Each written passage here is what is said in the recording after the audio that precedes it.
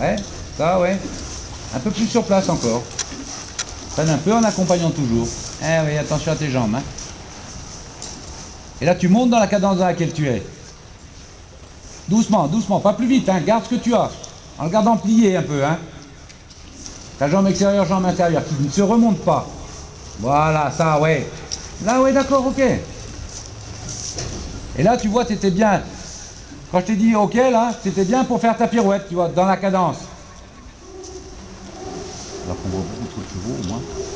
Bon, qui ralentit la pirouette. Il faut continuer à frapper le sol, à galoper, tu vois. En fait, tu vois, les chevaux qui passent. Ils sont plus dans l'impulsion, et ben, ben, ben, beaucoup trop lent. Il ne faut pas les précipiter non plus, mais ça manque d'impulsion. Non Yann, ce que tu as fait de mal là, qu'est-ce que tu as fait de mal?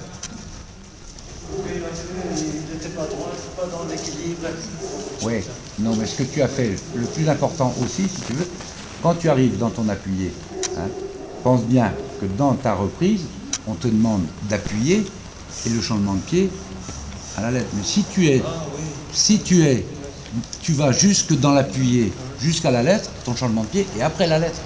Ah non. Et alors, quand tu finis ton appuyé, si tu veux, tu dois monter ton appuyé pour demander le changement de pied. Alors que là, tu étais au galop, tu étais au galop, hop, tu as demandé le changement de pied. Tu rien branlé là-dessus. Eh oui. Tu ne peux pas changer pour changer. Eh non.